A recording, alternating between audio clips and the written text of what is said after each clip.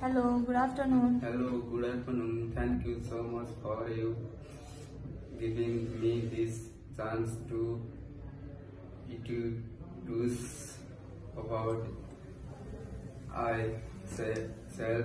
My name is Chandra Rokaya. I I am 22 years old. I I am from Badra, Nepal. I have 10 members in my family.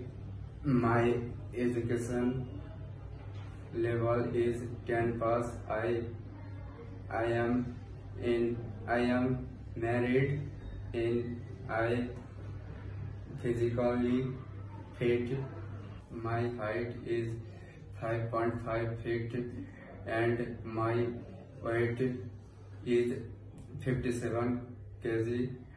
I have two years of old work experience is is of kitchen helper in Savala Hotel. I can cut the vegetable into different cuts like slice, dice, julienne, oasis, oasis, etc.